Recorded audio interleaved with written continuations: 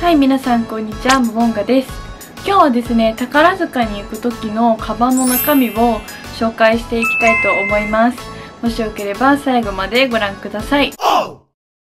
サムネにもあるんですけどじゃん。これが私の新しいカバンです。宝塚行く時のちょっと重いんですけど。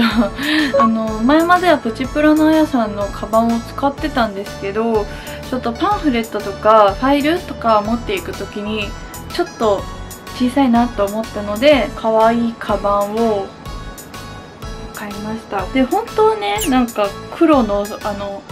シックなおしゃれなやつが欲しかったんですけど あの白でこんな可愛らしいのだと思ってなくて来た瞬間えっと思ってちょっとびっくりしたんですけどまああの使います。せっかく買ったから、うん、これねうちはジャンボうちわとか入るみたいです。ジャニオタの友達とかもこれうちは入るやんとか言ってあの自分のうちは入れてたんであの多分入るんだと思います。で、まあ、中身を紹介していきます。これね中ねポケットとかはなかったいです。この3匹も一緒に連れて行ってます。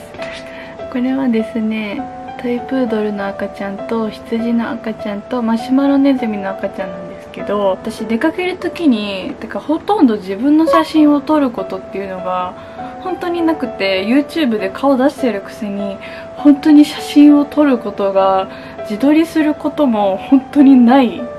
んですよ。だからあのなかなかないので こう旅する時とかどっか行く時はこの3匹最近2匹だったんですけど最近ちょっとマシュマロネズミちゃんもあのお仲間に加えまして3匹でお出かけしたところを一緒に写真撮ったりしてます。これが結構私の密かな趣味なんですよ。ファイルです。これね前あかねちと一緒に買ったやつなんですけどあのリラックマと宝塚のコラボのやつで私は雪組さんが一番好きなので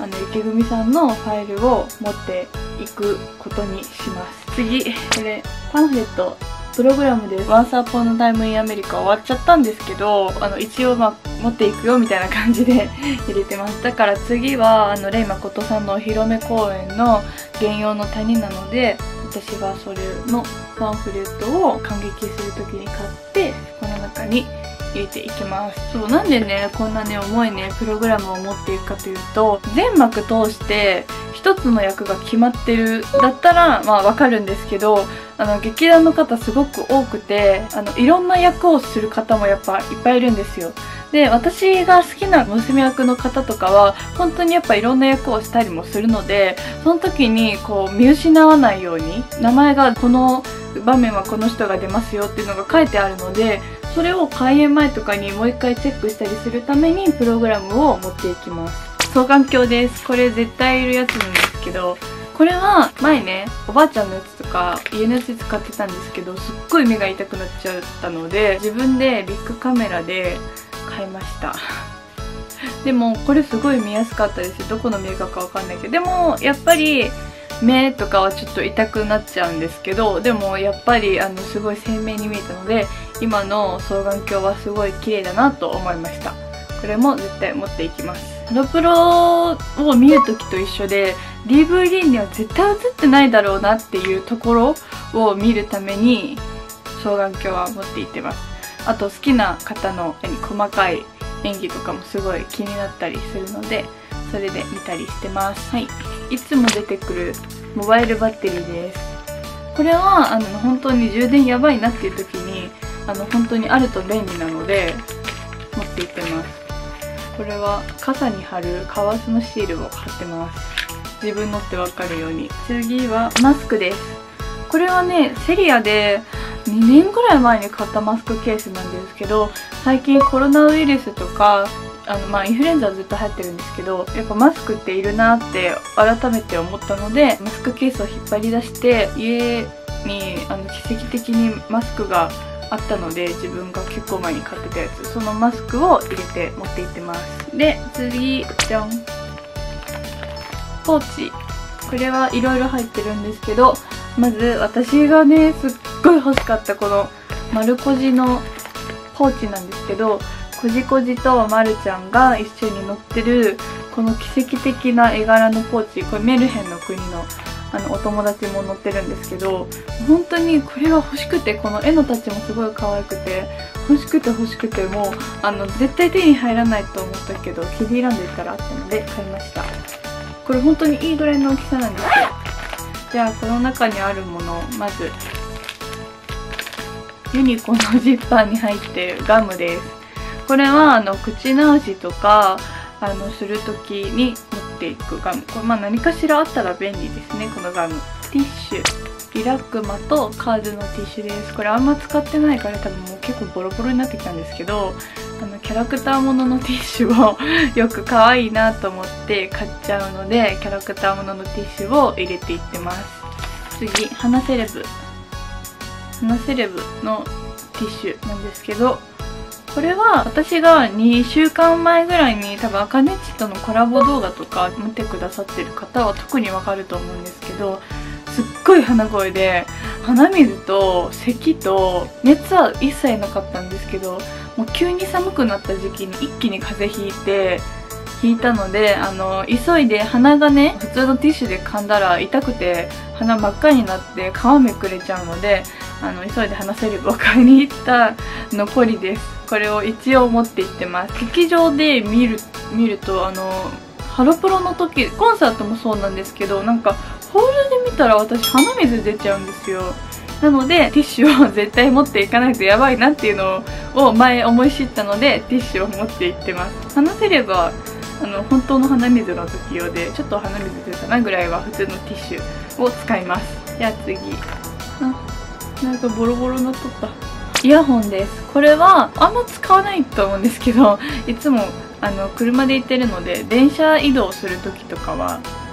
イヤホンを持って行ってます。でも一応あったら便利なのではい持って行ってます。目薬。これはあのホールとかで感激すると、まあ、コンサートもそうなんですけど双眼鏡をめっちゃ使うので目がめちゃめちゃこう乾くっていうかすごいもうコンタクト乾きまくってすごいことになっちゃうのであの目薬は持っていってます。今もつけてるんですけど私がいつも使ってるリップです。赤リップの気まぐれブラウンとメイベリンニューヨークのシャインココンバルジョン C SRD82 を使ってます。こっちもうないかもしれないけどすごいお気に入りで使ってます。最近はこのツートップです。鏡です。これはねポチャッコの鏡なんですけどでお友達がプレゼントしてくれてめっちゃ可愛いなと思ってすっごい愛用してるので結構黒くなってきてます。次最後ポーチの中はアルコール配合ウェットティッシュです。もうねこのねアルコールのウェットティッシュもう今の時期本当に必要だなと思って多分そこまで効果あるかわかんないけどでもアルコール配合って書いてるので一応持って行ってます。携帯拭いたりとか、まあの手洗えない時に手拭いたりとか本当にこう一つ一つのあの清潔に保つっていうのがすっごい大事なんだなって思い知ったので持って行ってます。次最後。財布です。あの財布新しくしました。あのずっと見てくださってる方はずっとこいつ同じ財布だねえかって思ってたと思うんですけどやっと財布を新しくしました。これはジュリエッタ・ベローナっていうところで私は ZOZO タウンで買ったんですけど Twitter でなんかのやつで見てめっちゃ可愛いなと思ってすごい調べて買いました。なんかロミジュリの舞台になってるベローナってとこがなんかなんやかんやなんかロミジュリがどうのって書いてたのであのツボだったので買いました。すっごい可愛いです。このハートとか。あと携帯です。これはあの私の ここに寝てる愛犬さくらさんとあと永遠の前までね「ワンサーポーナタイムインアメリカ」だったんですけど永遠のカードをあの前キャトルレーブ行った時にあったのであかねっちと思って あの買って挟んでます。やっぱり永遠は一番こう好きです。ななんだかんだではい、はい、以上になります。今日も最後までご視聴いただきありがとうございました。チャンネル登録と高評価ボタンお願いします。あと、えっと、コメントで多分宝塚を見に行ってる方って意外と多いと思うので何持って行ってるかとか教えていただけると嬉しいです。それではまた次の動画でお会いしましょう。バイバーイ。